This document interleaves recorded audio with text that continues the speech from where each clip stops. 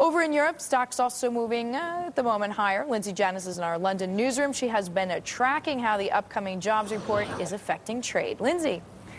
That's right. Good morning, Deirdre. European stock markets also making modest gains this morning after yesterday's intense sell-off here. But shares have been fluctuating this morning ahead of that jobs report.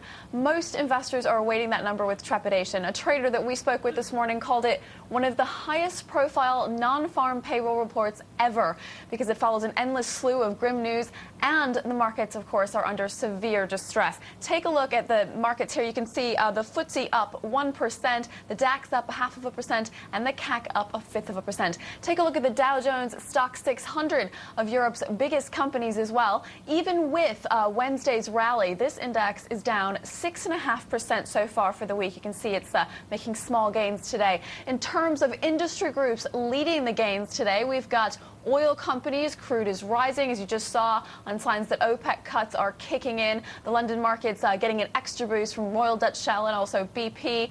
Autos and basic resources are also gaining. But on the flip side, we've got technology and banks falling.